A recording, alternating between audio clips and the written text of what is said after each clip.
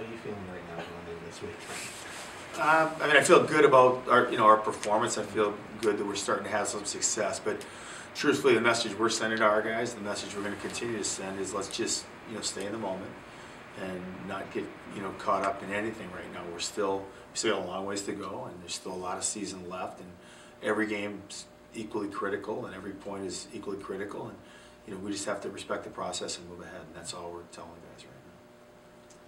What do you think? Go ahead, Yeah, just, I mean, what would you attribute the, the huge turnaround that we've seen, I guess, in the last month? I I think there's a lot of things. I mean, I think that, um, you know, we're diff- certainly a different team than we were prior to Christmas, and I think that, you know, a lot of that you have to. Uh, we have Shane back in our lineup, who's certainly our heartbeat and our leader, and that makes a, a great difference to us. I think that um, you're seeing, you know, a maturing of a lot of guys. You know, we started the year with. Uh, you know, Franti and Black, who didn't play a ton last year. Black played forward for us, and Franti, you know, played, you know, half the games, and then you add that with Beaulieu and Uremko, two freshman defensemen. Four of our six guys weren't real experienced at that point. Consequently, your goaltenders had to face probably some shots they, they, you know, you wouldn't like them to face, and I don't think that either of those guys had great starts to the year, and I think those guys, you know, Atte's kind of come around right now, certainly he's playing, looks like he did a year ago for us, so I, I think there's a number of things, you know, Dom Shine has kind of caught fire, we've found a little bit of, uh, you know, supplemental scoring last weekend. I don't think those guys got an empty netter, but they, they were held off the board. Payne's line was great on Friday, and uh, you know we had a goal from Brock on Saturday. So I think it, it's just a lot of things, and I think when you start having a little success, you start feeling better about yourself. So there's a lot of those things. What do you think has helped Atte, you know, become this three shutouts in a row kind of guy?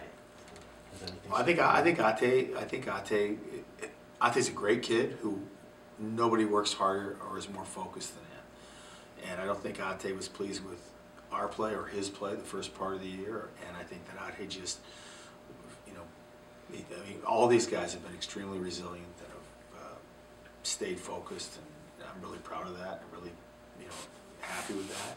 And I think Atte did that. He just stayed focused, kept grinding, kept working. And uh, right now, he's, you know, he's playing exceptionally well. Let's talk about your opponent. What does Alaska bring to the table?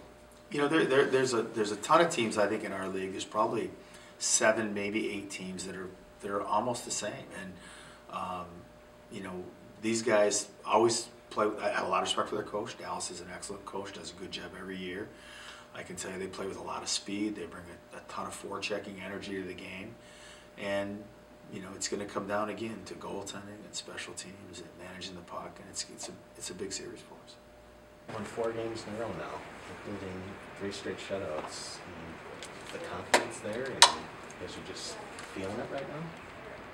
Well, I guess the question is, you know, the team itself, like we're coming together, and uh, it's the end of the year right now, so uh, it's it's really nice to see Atte coming along in the second half. He's he's looking like the Carey Price of the WCHA. So no, but actually he's doing awesome, and uh, he's he's having a great second half, and so is the team. I guess Atte, talk about it, talk about three straight shutouts. I guess specifically against Bowling Green, how were you able to completely shut them out for two nights? Uh, for sure, it's it's a team team effort. Full, full out like they're un, unbelievable in front of me. If I gave rebounds, they cleared it out. So they they made it so much easier for me. Talk about that one save that everyone's talking about, the one that it just looked like a sure goal, and you were able to, to basically just snatch it out of the air. Yeah, it happens. I I was a little desperate at, at the time, so I just tried to throw everything out there. I just saw the release, so I knew he's coming like a little bit higher, so I just tried to put my glove right there, and this time it hit, hit my glove. And I'm pretty sure I slowed it down with my glove. I don't know. Yeah. No, that was good. That was we needed it, so Atte was there. Uh, it's been about a year since you guys played Fairbanks. What do you guys remember from them? I I can't remember much. Uh, I think they had like they lost a couple of key guys, like the Morley guy, or and but like I think they're a really good team.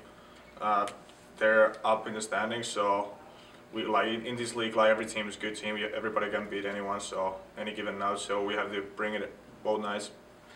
Yeah, you know they're they're a team we're competing with, and this is a huge point weekend. And when you think about that, it comes game by game. You, you got to be ready. And uh, they're going to come out to play just as hard as we are. And we're prepared and ready for it. After you keep racking up awards week after week, is it just, you kind of just shrug them off at this point, or? Do you have enough shelf room at home or at the apartment or whatever? Yeah, there's there's a lot of room, but uh, we di- I didn't have like me and like the whole team. We didn't have a good first half, so it's good to get the teams going for the second half right now, where the like it counts the most when we want to make the playoffs. So it's it's great thing to like have some success as a team right now.